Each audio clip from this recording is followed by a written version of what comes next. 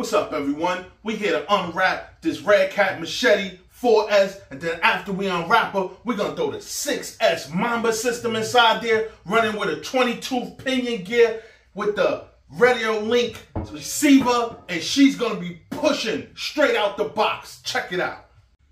Hey everyone, I want to take a brief second out to have a safety talk. And I'm not talking about my normal RC safety talk. I'm talking about keeping a lovely lady of your life safe. I'm pretty sure everyone out there have someone like this in their life. Or if you're that lovely lady and you just trying to stay safe out here, stop by safetydivas.net and pick you up a crystal perfect pouch safety keychain. Promise you, you won't regret it. So no more worrying about her walking alone at night or driving for that matter with all the road rage going on out here. Or just as simple as hanging out with her friends because anything could happen. But just know she'll be in good hands like Allstate. But instead, her safety will be in her hands with a crystal Perfect Pouch Safety Keychain. So go to safetydivas.net and put in my name, Louie's Fix It, for your first buy discount. Once again, here's the website. Don't miss out. You won't regret it. Keep the ladies in your life safe. So let's tune back to this video. Yes, so you stuck around to kick it with Lou's Fix It today. So you definitely want to see this one. Now let's get this thing out the box.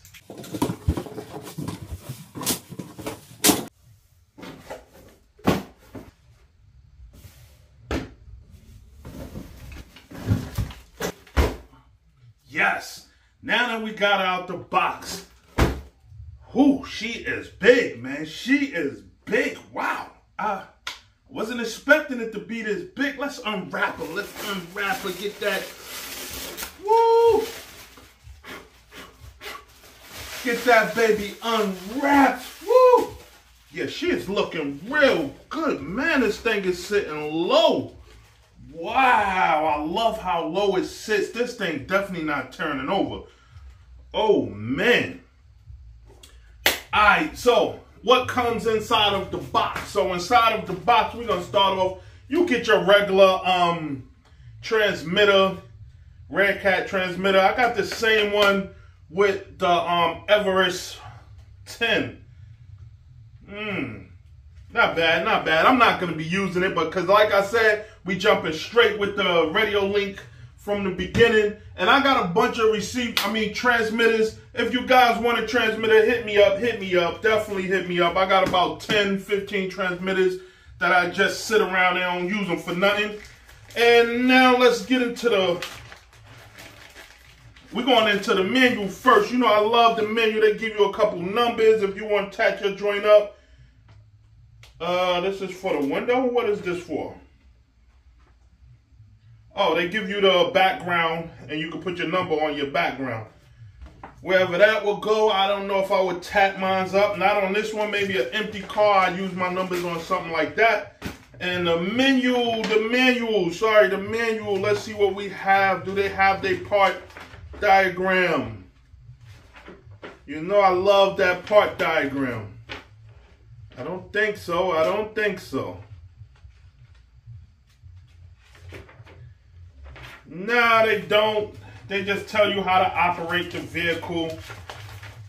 Uh, I'll look into it. Maybe they have. Maybe they have it inside. Um, I'll look into that. I'll look into that. I'll look into that. And then you have your parts. They give you all your extra parts. See what we have up inside here. So we have the, oh, I'm gonna need that. No, I'm not gonna need that because this 4S is going into another vehicle and that's gonna be used on the other vehicle because I think I'm gonna use two 2S's. Ah, don't know yet. And then we have our arms. Ooh, wow, these arms is big. We have the front. Oh, they give you replacement arms for your front and your back. That's not bad. That's definitely not bad. Redcat, wow, that's not bad. Um, then we have, these is your edge pieces to your shocks, just in case your shocks break out.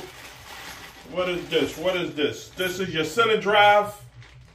Um, the center drive rods that goes inside there, that's that. And what I'm hoping is that this right here when you scan this, it'll give you your parts manual. That's what I'm hoping. Yes, this is what this is for. This is what they're saying is for. Installation instructions if needed. So I'm hoping when you scan this, it takes you inside and it'll take you to somewhere where you can see uh, all the parts and the part numbers. That's all I look for when I on my manual is the parts and the part numbers and how you install it and take it out. You know, that's pretty good. If it is that, that's pretty good.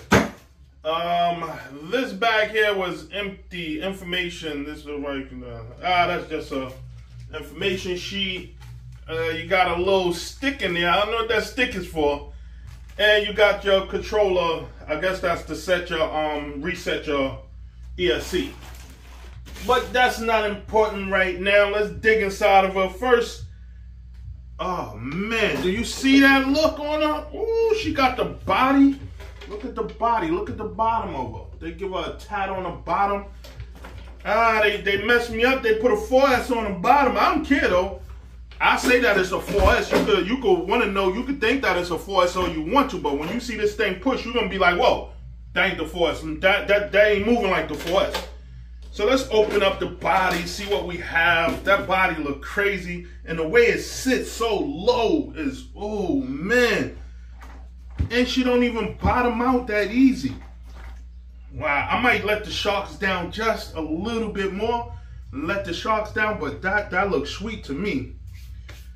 Um, I'm really not gonna get into the system that's in here because like I said, I'm gonna tear this system out. The receiver, um, not to, yes, the receiver, the ESC, the motor, the fan that's with the motor. I'm gonna pop all that out and I'm gonna put the uh, put my system inside here. But um, let me take a look at this and see how you pop all this stuff out. All right, so the motor, the receiver, the ESC looks pretty simple. It looks standard to come out. Um, the receipt, the ESC and uh lights, the switch to turn it on and off. Let me pop that off. Let me get my motor off of there real quick. So this is just double-sided taped down. Both of them is double-sided taped down the switch and the um, ESC.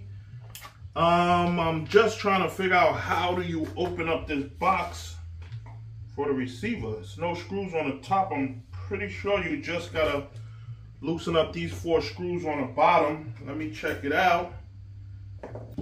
All right, so it is just that simple, just to take the four screws out of the bottom. This whole case comes out in one piece. You still have your um, your servo hooked up inside there, so you can't pull it all the way out. All your wires is there. Your receiver is sitting inside there. It's not mounted down to nothing. So me, I'm gonna just pop this out. Before we get the motor out, I'm gonna take the ESC, my Mamba system ESC, and I'm gonna slap this in with the receiver. I'm gonna work on this one side, then I'm gonna spin her around and work on the motor side. You know, I don't wanna jump back and forth. I'm just hoping that this mounts up here the way I want it to. Before I seal everything closed, I have to check this out to make sure it's working because if not, I'm gonna have to pull my receiver everything back out to make sure this thing, to get this thing working properly. So,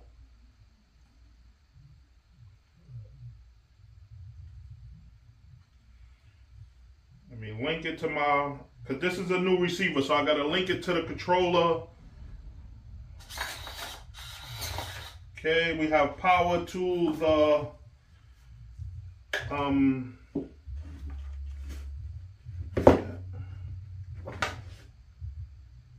we have power to the servo. Um, let me make sure I get power to my motor. Here we go. Okay, so everything is functioning. I can close it up. All right, so that is the motor. Got the, I mean, not the motor, that's the ESC, the receiver inside there. Wow, this thing fits, like this thing belongs on here. Like, it just straight up came and was like, listen, this is my spot. This is my car right here. Wow, that fits so perfect. I can't believe that fits so perfect. It's unbelievable. All right, so now that that's done, let's swap out the motor. So first thing I always do, taking off these motors from the motor mount, is heat up that screw to make sure that the um, screw lock is kind of loosened up. Uh,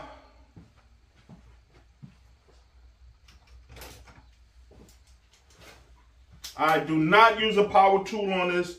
I always use a hand tool so I can ensure that, oh, wow, this thing is on there tight. Let me heat up some more.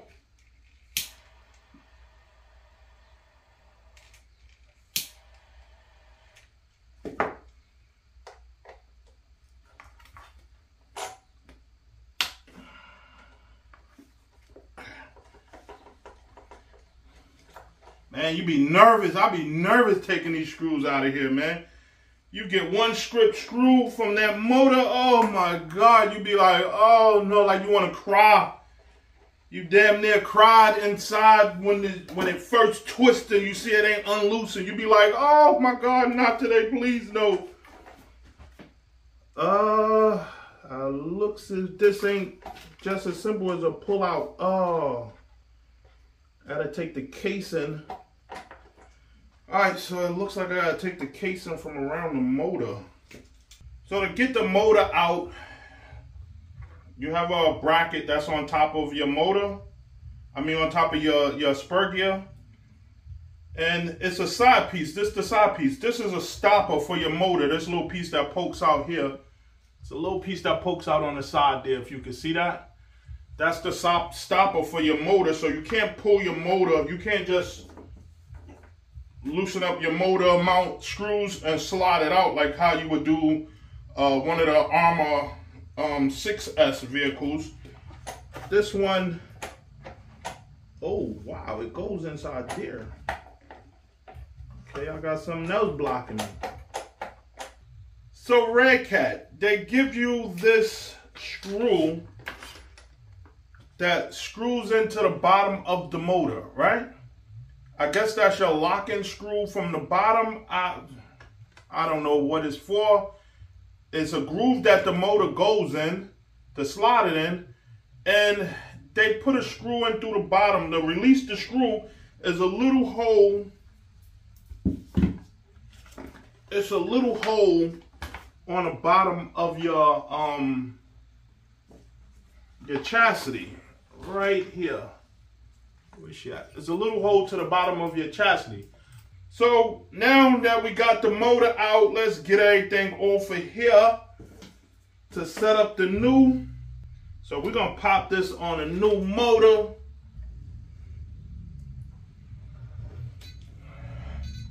Okay, so everything is done.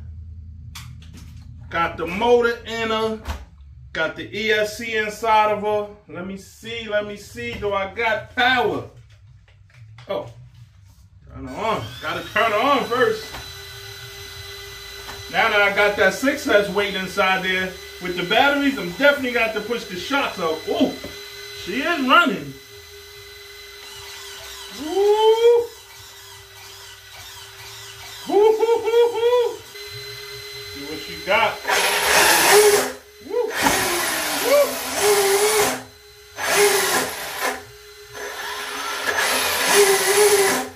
Yes, I'm gonna turn the reverse up on her, but she's looking good. She's looking real good.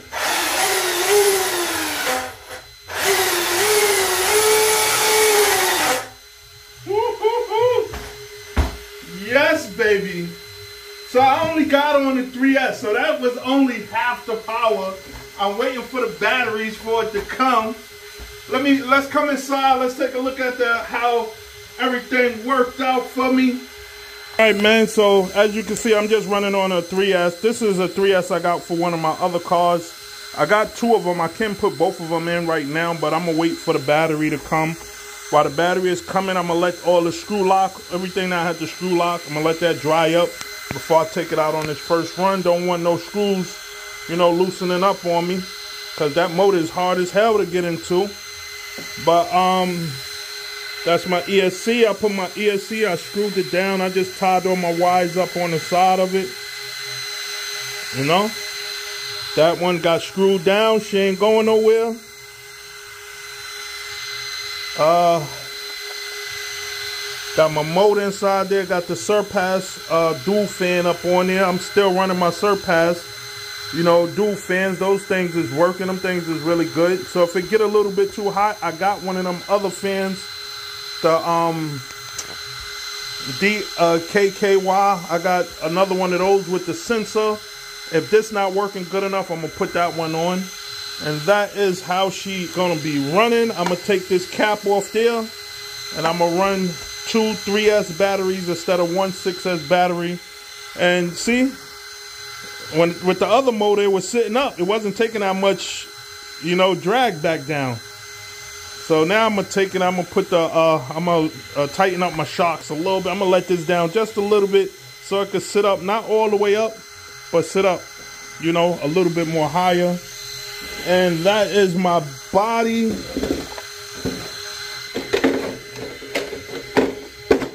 That's my body. She sits nice and low. Ooh, man.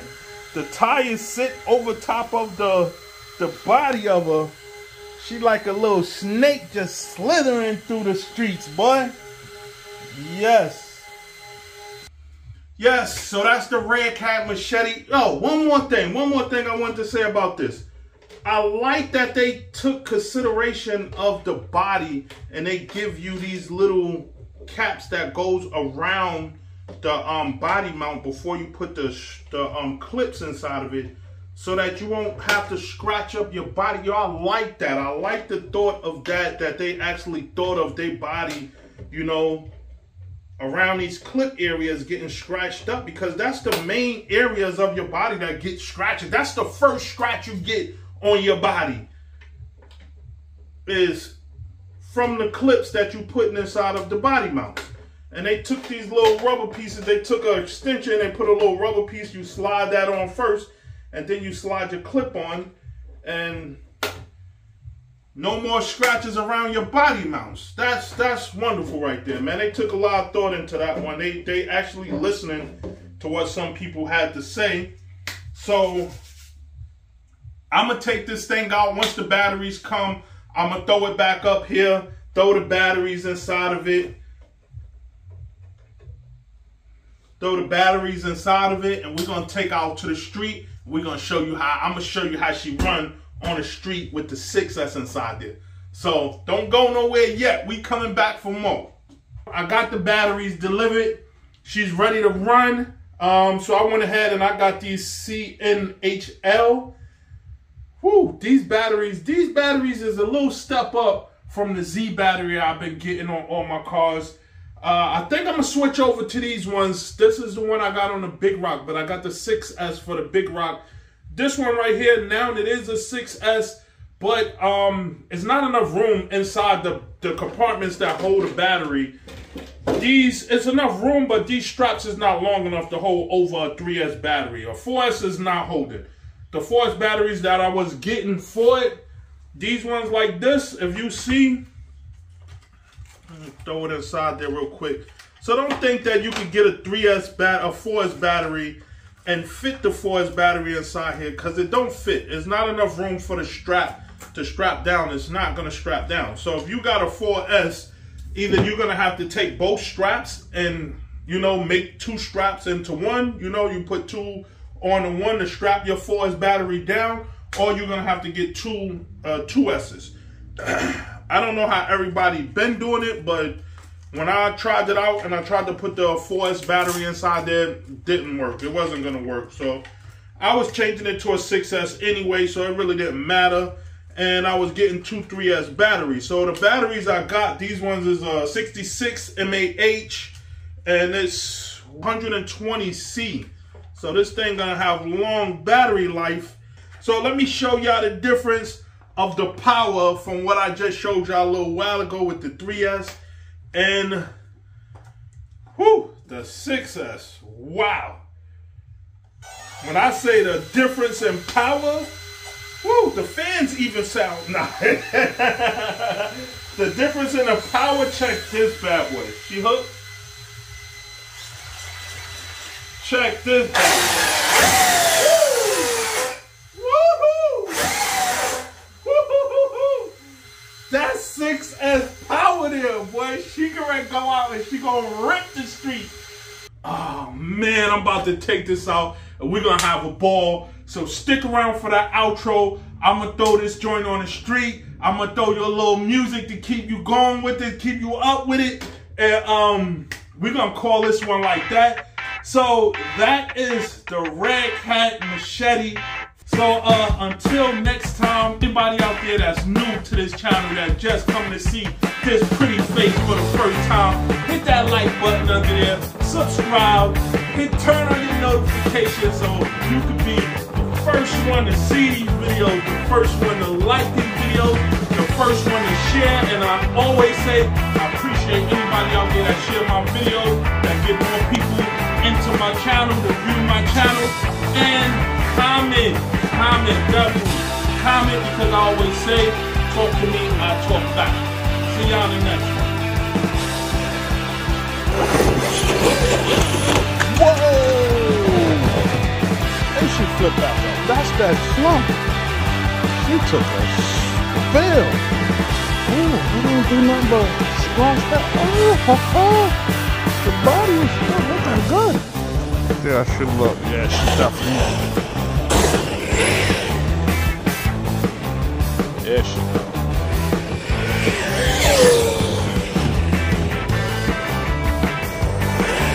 Look at the tires.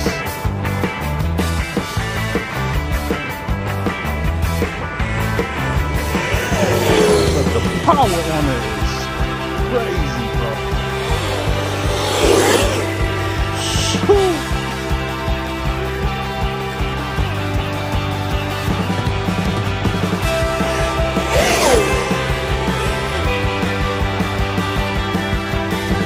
Know why they make, how they could make this a 6S. Gotta watch my back.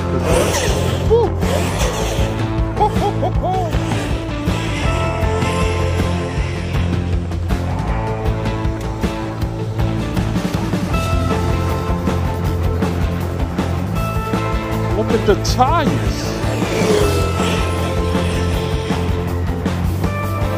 That see how she's spinning around? Woo! Watch her spin. Spin ain't no joke on her. Yo! Baby ain't no joke. And she still caught no damage. Look at the damage on her. Only damage that was caused is a little scuffs on the top of the wing. On the top of the this part right here. Got a little scuffs on there. Got a little scuffs on the top of the bottom, but I mean on the top of the body, but it ain't it ain't give nothing down to oh the front. Wow, that, that's some that's some good protection on that body right there definitely some good protection.